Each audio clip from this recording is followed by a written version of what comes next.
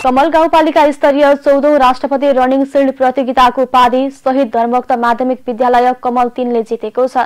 शहीद धर्मक्तले एघार स्वर्ण चार रजत र पाँच काँस्य पदक प्राप्त गरी प्रतियोगिताको उपाधि जितेको हो। त्यस्तै कमल पाँच स्थित मंगलमय माध्यमिक विद्यालयले चार स्वर्ण नौ रजत र दुई काँस्य पदक प्राप्त गरेको छ भने महेन्द्र रत्न माध्यमिक विद्यालयले चार स्वर्ण तीन रजत र तीन काँस्य पदक प्राप्त गरेको छ।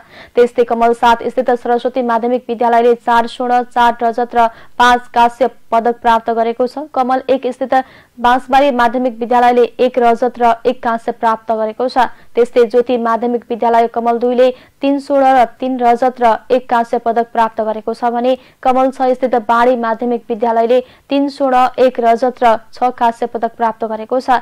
त्यसै गरी कमल एक स्थित नरेन्द्र जनता माध्यमिक विद्यालयले दुई स्वर्ण एक रजत र दुई काँस्य पदक प्राप्त गरेको छ भने कमल दुई स्थित कमल मदन आश्रित स्मृति माध्यमिक विद्यालयले तीन रजत र तीन काँस्य पदक प्राप्त गरेको छ। कमल तीन स्थित अन्डरल्यान्ड माध्यमिक विद्यालयले दुई स्वर्ण तीन रजत र चार काँस्य पदक प्राप्त गरेको छ भने कमल पाँच स्थित सरस्वती माध्यमिक विद्यालयले चार स्वर्ण चार रजत र पाँच काँस्य पदक प्राप्त गरेको छ। त्यसै गरी कमल दुई स्थित महेन्द्र रत्न माध्यमिक विद्यालयले पाँच स्वर्ण तीन रजत र चार काँस्य पदक प्राप्त गरेको छ। कमल तीन स्थित लालिमा माध्यमिक विद्यालयले तीन स्वर्ण तीन रजत र एक काँस्य पदक प्राप्त गरेको छ। त्यसै गरी कमल छ स्थित स्मारिका माध्यमिक विद्यालयले एक स्वर्ण रजत र पाँच काँस्य पदक प्राप्त गरेको छ। प्रतियोगिता गत माघ सत्ताइस गतेदेखि कमल गाउँपालिका तीन स्थित केर्खा खेल मैदानमा सुरु भएको थियो।